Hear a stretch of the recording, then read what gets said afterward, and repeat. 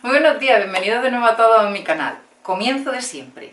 ¿Para qué vamos a cambiar? Bueno, hoy vamos a hacer este vídeo que ya os he mencionado probablemente por redes sociales sobre algunos de los bronceadores faciales en polvo que yo utilizo y que han sido los favoritos a lo largo del tiempo. ¿Por qué hago esta introducción?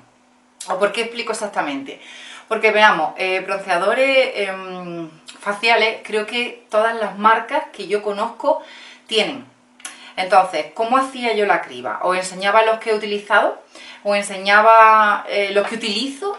¿O, enseñaba qué, qué exactamente? Entonces, yo he hecho una selección y en esa selección he puesto los bronceadores faciales en polvo que me gustan, que utilizo tanto para trabajar como de forma personal y también he añadido unos que actualmente no utilizo, pero que durante mucho tiempo utilicé a nivel personal y que me gustaron, ¿vale?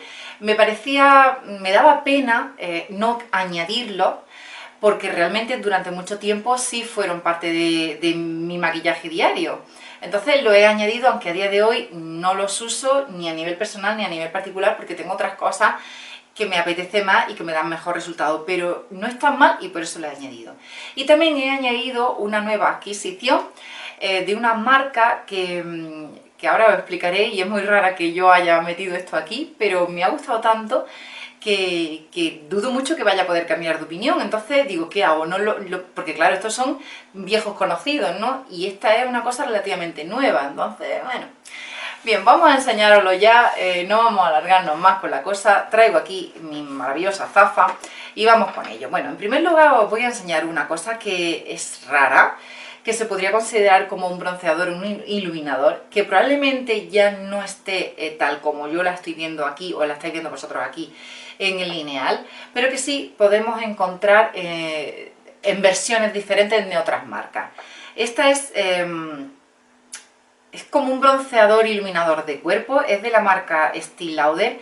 Es un producto que siempre llevo en el kit, está rayado porque el producto es relativamente duro.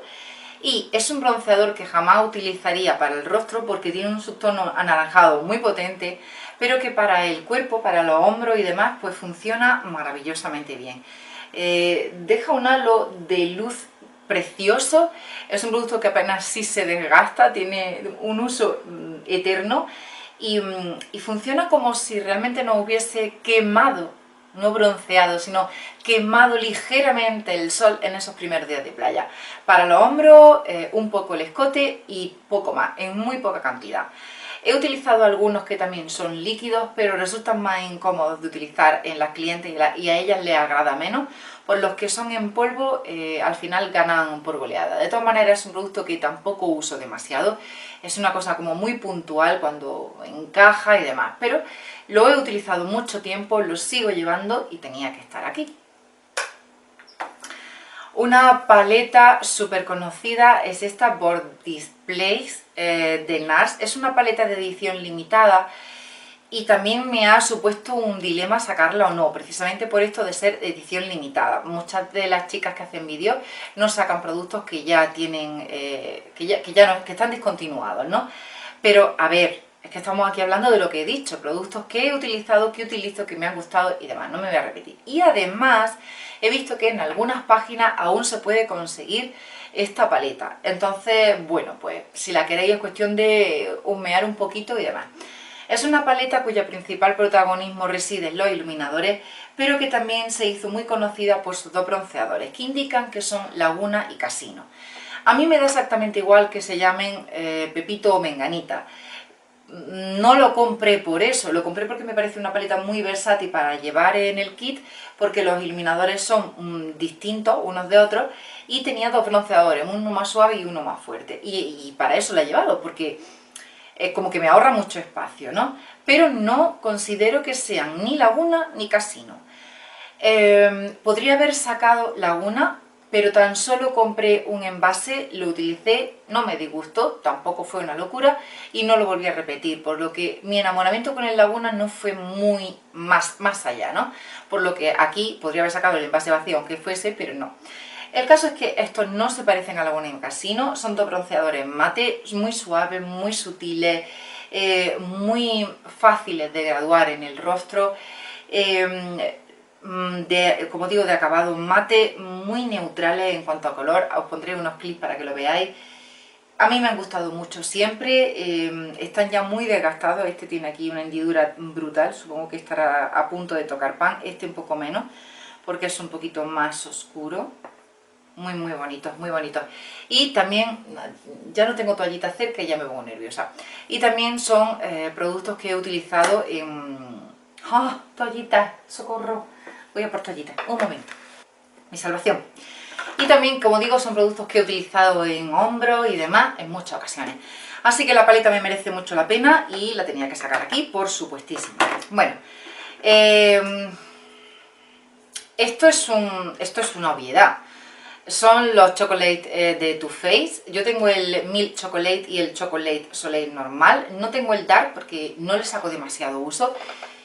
Y no, ni siquiera cuando maquillo pieles negras, que no es lo más frecuente en mi, en, mi entorno, ¿no? Maquillar pieles negras, pero sí cuando he maquillado a algunas chicas eh, más morenas y demás, pues sí, no he tenido de esto tirado de base, demás, pero como que no me ha resultado una necesidad imperiosa el comprar el dark, ¿no? Eh, con el, son muy graduables, así que si pones un poquito más de cantidad, pues obtienes lo que quieres. Estos son los envases nuevos, eh, supongo que tenéis en la cabeza los antiguos, son unos productos muy buenos, son productos que, bueno, utilizamos desde hace años muchas maquilladoras y muchas chicas a nivel particular. El chocolate mate normal es un producto muy graduable. Mm, yo podría deciros que si sois de pieles medias que tiréis por este. Si sois de pieles claritas y la marca os ofrece el más clarito, pues me parece que sería estupendo también. Eh, bueno, lo, eh, no lo comentaba antes, estos tienen 8 gramos, dice que indican 12 meses abiertos, bueno, yo en fin...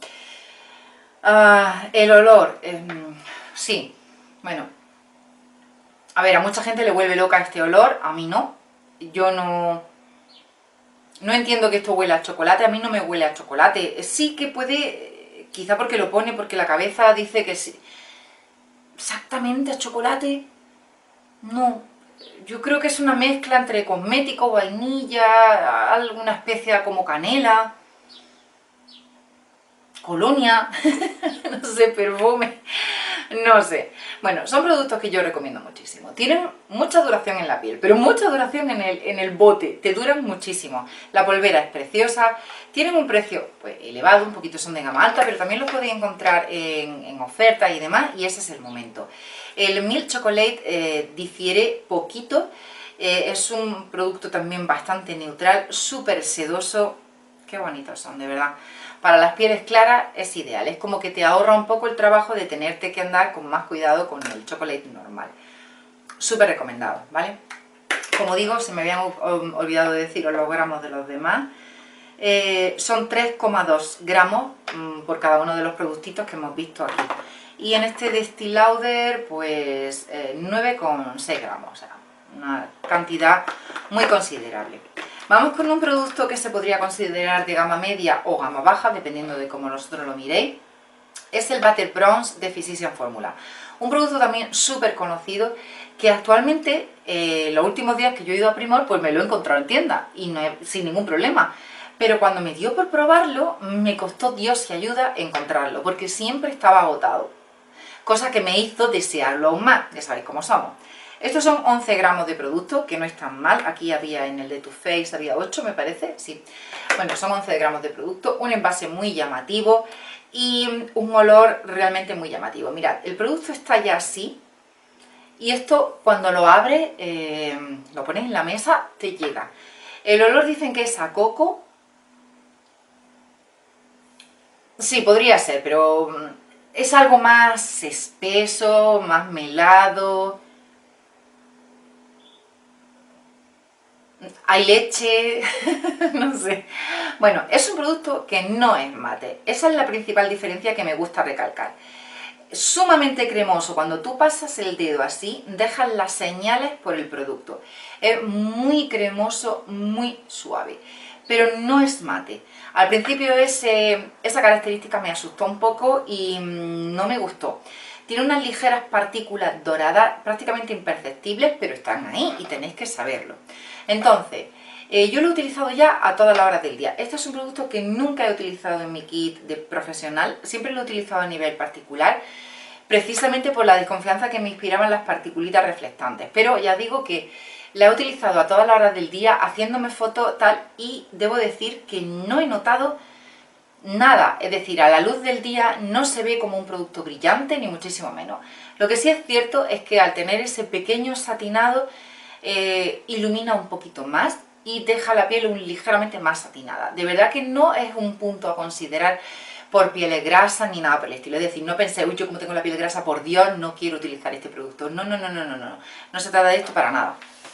He ido a comprobar que la cámara estaba grabando porque es nueva y eh, eh, he visto que el, fondo no es precisamente el mejor del mundo, pero bueno, ya me disculpáis, lo dejamos ahí. Bueno, eh, me invade el olor. Mi hija dice, ponme el potingue que huele a coco.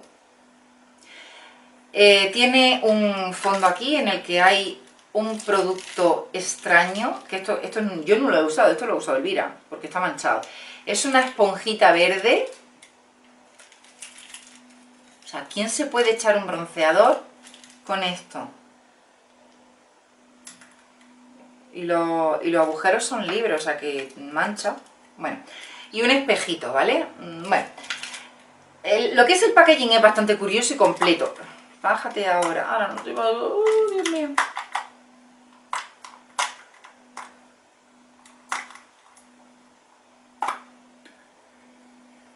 Ahí, ya te queda ahí, ¿vale? Ya no vamos a usar la esponjita nunca más. Así. Bueno, es un producto que voy a acabar pronto. ¿Repetiré o no repetiré? ¡Ah! La duda. Bueno, os diré, no voy a repetir porque tengo que sacar producto adelante. Pero sí podría repetir. Me ha gustado. Finalmente, he pasado como por muchas etapas con este producto y finalmente tengo que decir que sí, que lo acepto. Es decir, que por ejemplo, si me voy de vacaciones, este es el que me voy a llevar. Creo que queda muy bonito y, apenas, es, o sea, no es para nada perceptible. Eh, no, es, no es muy neutral, también tiene un punto más naranjilla, bronceado que otro. Mm, por ahí anda. Pero muy bonito, sí, sí, sí, sí, ¿por qué no? Sí. Bueno, eh, yéndonos un poco por esa vereda de gama, el precio de este producto, ¿qué, qué rondaría? Los 11 euros por ahí más o menos. Estos son cerca de los 30. Esta paleta costó 45 y lo de de no lo sé porque venía en un pack. Bueno, vámonos a este producto que todo el mundo creo que acabó descubriendo por Vega Makeup. Es una chica a la que yo sigo por Instagram principalmente, em, maravillosa, sensata, serena, ya he hablado de ella alguna vez. Bueno, este es el producto que se llama Bronzing Power Shade, es el número 3 de Body Shop. Eh, tampoco es que haya mucha cosa en The Body Shop. Los limpié otro día para hacerle fotos y ya están otra vez perdidos. Bueno, a ver, también es un producto que como estáis viendo he utilizado muchísimo y también a nivel Mm, personal. Porque, a ver, no, es un mal producto para utilizar en un kit profesional. No, no, no, no, de verdad, disculparme si pensáis que estoy llamándole mal producto por eso. No, pero yo en, un, en el kit profesional pues ya tengo esto, lo otro y no necesito más. Entonces, eh, pues para uso particular pues prefiero utilizar cosas que me funcionen muy bien, pero a ser posible un poco más económicas porque si no, pues eh, no me da la vida. Vale, es un producto que yo compré porque Vega lo tenía y dijo que era muy similar a este de aquí, al Chocolate de Too Faced. Así que dije, hay que probarlo. En efecto, es muy similar prácticamente en todo. Quizás es un poco más polvoriento, aquí lo estáis pudiendo ver. El producto tiene una, cuando lo compras tiene como una especie de cerdilla, como de abeja, y también las tiene en la tapa. Es un producto mm, menos cremoso que los anteriores, la textura es un poco menos cremosa, pero muy fino también. Es un producto mate, eh, yo no le veo ningún tipo de satinado. He llegado a oír que tiene algo de satinado. Yo no sé dónde le han visto el satinado. Es mi, toallita, no tengo dedo. No sé dónde se lo han visto. Eh, muy modulable, muy fácil de utilizar. Em, el tono 3 es el que ella decía que era muy similar al chocolate. Luego tenemos, creo que hay como dos o tres tonos por arriba y algunos, algunos más por abajo, o sea que tenemos. Es un producto con el que creo firmemente que voy a volver a repetir. Se me adapta muy bien a mí y prácticamente a casi todo el mundo en el que se lo he probado, tipo mi madre, mi hermana, eh, lo llevo de vacaciones, se lo pongo a quien sea, eh, funciona muy bien, dura muchísimo, eh, tiene un acceso fácil y Es sencillamente cuestión de que si os parece mucho 16 euros, pues esperéis algún momento en el que The Body Shop tenga alguna oferta porque suelen tener muchas y variadas ofertas. Así que, eh, bueno, me parece muy bonito el packaging también, lo que pasa que yo, como digo, es un producto que me he llevado a todas partes y lo tengo muy trasteado. Tiene incluso hasta espejo por si acaso hace falta y no sé, hasta, hasta el packaging es bonito sin tanto trasteo. bueno, os enseño ahora una paleta en la que tengo productos de Nabla. Eh, bueno, y aquí una cosa más que no es de Nabla. Mm, vamos a omitir este, que es un producto que, del que no vamos a hablar un colorete que es el de Nabla y estos tres que son de Nabla y podrían entrar dentro de lo que se considera como bronceadores o eh, contorneadores. Vamos a ver, que los vea yo mejor aquí y que no me confunda. Este principalmente, que es el, si no me equivoco, ay, a ver, uh, se ha roto otro trozo. Esto es lo que no me acaba de gustar, que se están rompiendo. Este es el Gotham, eh, ¿tienen algún nombre? Shade and Glow. Ya está. En Roman habla.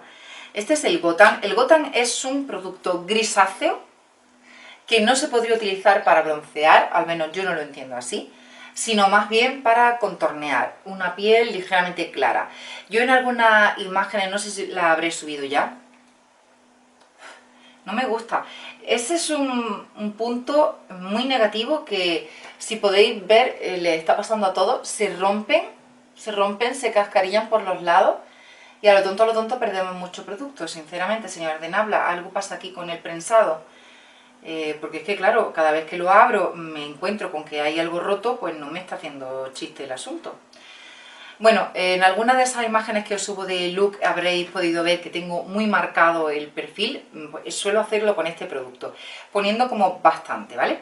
Otro producto de Nabla que también tiene esa, esa misión, aunque ya podría empezar a ser un poco más considerado como bronceador, es el Cameo. El Cameo es un bronceador también con un subtono ligeramente más grisáceo, o se podría entender como más neutral, eh, pero me ha funcionado muy bien, tanto para broncear como para contornear. El siguiente es el, eh, a ver, es que como los cambio de sitio, madre de Dios, el Saint Tropez. El Saint Tropez es un producto que sí entendemos todas que es para broncear. Es un color muy bonito, muy conocido de la firma. Eh, y este Saint Tropez y este que lo tengo muy usado, que es el Monoi, nada más que por el nombre ya te está indicando que sí que es un bronceador, son productos ligeramente satinados. Eh, Gotham es mate. Eh, este de aquí tiene un puntito muy, muy leve. Y luego Saint-Tropez y Monoi son productos satinados. Sobre todo este de aquí. Monoi es un producto que tiene una sedosidad muy alta. Eh, y se nota muchísimo más que aquí, que en este, ese satinado del que os hablaba. Eh, no se ve, es decir, tú a la luz del día no ves el pigmento, ni la purpurina, ni nada similar, ¿eh? Ni muchísimo menos, pero es, evidente que está aquí. Entonces, yo lo tengo muy gastado porque queda precioso, queda muy bonito, muy muy bonito, entonces me gusta muchísimo. En alguna ocasión, debo deciros que he cogido la brocha y he hecho así. Los he mezclado todo, porque lo que obtengo es un pupurrí que me, me hace mucha gracia. Em, ¿Productos con los que repetiría? Pues mirad, funcionan muy bien en piel. Eh, los, tengo en mi kit profesional, o sea que debo, deciros que sí, que me ha gustado mucho. La paleta también es de Nabla. Eh, sí, los tengo. Eso es porque funcionan muy bien, porque me dan una variedad de color muy bonita. Son productos pequeñitos que llevar en una paleta que está chula. Em, pero me estoy encontrando con este problema que realmente me, me, mosquea, me cabrea y es eso, que se caen a trozos, ¿no? Yo no sé si es porque les pego mucho traqueteo, porque no están bien prensados, pero para mí eso es algo a tener en cuenta. Entonces, mm, me daría mucha pena que este tema no lo arreglasen, porque el, el Monoy, por ejemplo, me encanta y el Santropez también me encanta, los tengo muy gastados por eso, pero no, pueden, no pueden hacer esto, no pueden desmoronarse, me, sienta mal. Así que sí, recomendadísimo. Eh, mm, los, gramos, los gramos, a ver, que se me olvida algún detalle. Madre de Dios. 3,5 gramos tiene cada, cada uno. Y el precio 11 euros por ahí, pero ya sabéis que en Nabla tenéis, por ejemplo, en Maquillalia, ¿no? por ejemplo, en Industrial Beauty, y hay muchas ocasiones en las que hay un 3x2, un 20%, lo que sea, que es cuando, al menos yo, aprovecho para comprar, ¿vale? Bueno, os voy a enseñar ahora una paleta que se vende como paleta de coloretes, pero que en rara ocasión mm, la he utilizado, pero no mucho, ¿no? Como eso, como paleta de coloretes. Es la eh, de la gama Spectrum de Zoeva, la marca Zoeva, es la Nude. Yo tengo la Pink, la Coral y la Nude. Y la gama Spectrum tiene, eh, que la acabo de pasar una toallita, si no, Qué bonito queda. Es que se manchan muchísimo.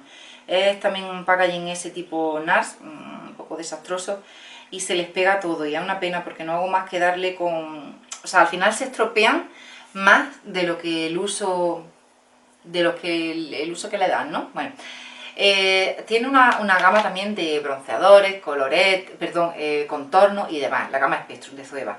Pero bueno, yo ya tenía suficiente y no la he utilizado. Y con esta, mm, con esta me manejo muy bien.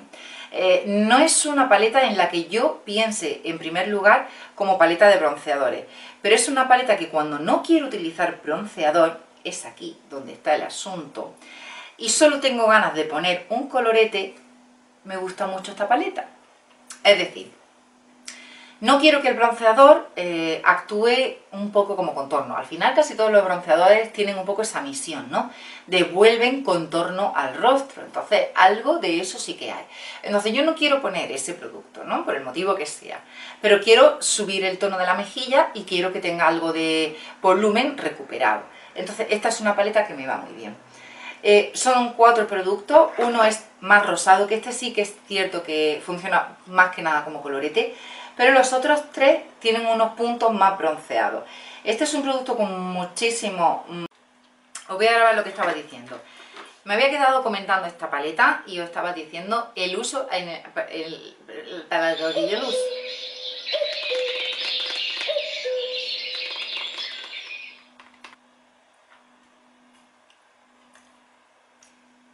que la he usado muy de forma puntual, que pertenece a las Blush Palette, es decir, las paletas de colorete, que si queréis una de bronceador y contorno la tiene específicamente en este mismo packaging, en línea y demás, pero que a mí me ha salvado esos momentos de no bronceador, no contorno, pero sí color y sí volumen, pero como muy neutral, muy suave, muy tostadito, pero al mismo tiempo con ese punto, esta, ¿vale? Mira, si lo dijese así siempre, pues acabaríamos antes. Chiquilla, si es que eres muy pesada, eres muy pesada. Bueno, os hablo ahora de una paleta de Sleek. Es una paleta compacta, eh, vienen tres productos y es una paleta que he utilizado a lo largo de mucho tiempo. No se gasta, no sé qué tiene, no se gasta. Es una paleta que yo me llevo siempre que voy de vacaciones de verano. especifico, porque si me voy a un sitio donde pues yo voy a salir o una boda o lo que sea, no sé cuánto, pues me llevo otras, otras cosas, porque esta paleta es flojita, me refiero. A que el bronceador que tiene es muy neutral, muy flojito, eh, quizá a mí me gusta una cosa un poquito más salerosa, el iluminador es muy suavecito, pero para esa noche de veranillo pues está bien, porque no me gusta ir con dos ráfagas aquí, el colorete es el típico colorete rose gold, así como orgasmo, fresco, un toquecito y demás, pero claro, no tengo nada más, es decir, es una paleta que me ahorra mucho espacio, que me viene muy bien para irme esos días de, de vacaciones que al final no te maquilla y que he utilizado muchísimo por eso. Hay muchas marcas que ya han sacado paletas similares, de veces que tienen mucho éxito, y a mí lo que me faltaría en ese tipo de paletas sería que el color te lo dividiesen en dos y pusiera un rosado frío y uno más cálido, tipo de melocotón, con un poquito menos de dorado. Pero la paleta os la recomiendo mucho en general, pero también os la recomiendo por lo que nos trae en este vídeo, por el bronceador, que es muy neutral y muy bonito. Mm, es bastante suave en el polvo, mm, muy finito, no es tan modulable y hay que aplicarlo con cuidado, porque aunque es muy fino y tiene un tono muy ligero, eh, si colocas pop la brocha, puede que se te quede el pop, el pum de color y luego te cueste trabajarlo, ¿vale? Pero en principio es una paleta que funciona muy bien, pues para cuando no somos demasiado exigentes, pues en esos días de verano y demás. A mí me va mm, de lujo y por eso la saco aquí. Vale, ahora os voy a hablar de dos paletas que eh, al principio os comentaba que no sabía si meter o no. Os aclaro, estas paletas las compré hace mucho tiempo. Las compré con la misión de enseñarlas en los cursos por lo que ahora voy a mostrar. Eh, me pica la. Una se llama eh, Ultra Contour y otra se llama All About Bronze. Entonces, en los cursos me encontraba con una problemática muy común que era que las chicas no sabían distinguir entre qué tono tenía un bronceador y qué tono tenía un contorno. En tiendas no les ayudaban y le daban lo uno por lo otro y lo otro por lo uno. Entonces, estas paletas me sirvieron mucho porque yo se las mostraba y les preguntaba, chicas, decirme dónde están los tonos cálidos y dónde están los tonos fríos. Y cuando los veían aquí, ya no había lugar a duda. Os vais a encontrar con unas paletas absolutamente destrozadas y ahora os explicaré por qué. Bueno, como veis, aquí están los tonos fríos, sobre todo los de abajo, y aquí están los tonos cálidos. Entonces, cuando ellas veían esto, lo entendían a la perfección. Entonces yo les decía, mirad, estos tienen un subtono grisáceo, funcionan para contornear. Estos tienen un subtono dorado, más eh, bronceado, y son los que simulan ese bronceado facial. ¿Qué ocurre? Que os encontráis con productos muy naranjas en esta paleta. Esos no vamos a buscar algo más neutral, ¿vale? Entonces me servía muy bien para eso. Luego tenía productos, las paletas, las paletas, perdón, tienen productos que a mí no me han convencido jamás y que nunca he utilizado. Eh, por ejemplo, este iluminador de puro shimmer, estos dos mm, brillantes que te mueres, eh, bueno. También la de contorno era buena explicación porque tenía el amarillito este que se suponía que quedaba muy bien en la ojera de una piel cetrina y este rosado más blanquecino para resaltar zonas del rostro, ¿no? Entonces, como para explicar eh, la técnica del contorno, me han venido muy bien. Eh, ¿Por qué están así? Porque yo los meto en una maletín y el maletín tiene que pasar por varias calles haciendo taca, taca, taca, taca, taca, taca, taca, taca, taca. Y claro, yo pensaba que iba bien protegido, pero da igual lo que haga con ellos, porque son muchas veces taca, taca para allá, varios años haciendo cursos y las llevo siempre encima. Entonces, al final, pues, acabo de tirar una. Se han deteriorado mucho, se han roto mucho y demás. No me preocupa mucho porque nunca las he utilizado mm, ni a nivel profesional ni demasiado a nivel particular. Sí es cierto que en alguna ocasión, si la he tenido, la he utilizado, ¿no? Pero sobre todo los colores neutrales, porque esto es imposible de poner. Esto es un color naranjito, este es un color puro, brilloso, eh, bueno, pues no tiene mucho sentido. Este, pues, eh, de tanto tocarlo, pues se ha ido. En fin, el caso es que no son paletas que eh, yo recomiende a nivel profesional ni muchísimo menos, no me parece bien, o como siempre digo, ni siquiera honesto. A nivel particular, pues te salvan del apuro. Y sí, por ejemplo, diría, a nivel particular, a ver, no queréis invertir mucho, queréis una paleta de contorno, eh, no sabéis qué hacer, bueno, pues más o menos nos saca del apuro, ¿vale? Pero son productos que cuesta un poquito difuminar, que no tienen esa duración en la piel, tampoco son tan cremosos, es decir, son paletas de gama baja, pues que tienen esa característica, que está bien, que te sacan del apuro, pero que no le podemos pedir peras al horno. Pero para lo que yo las quería, me han venido y me siguen viniendo muy bien, aunque se le haya caído los trozos. Había uno que era ideal, pero que se ha perdido, porque era un gris, era un topo, este de aquí.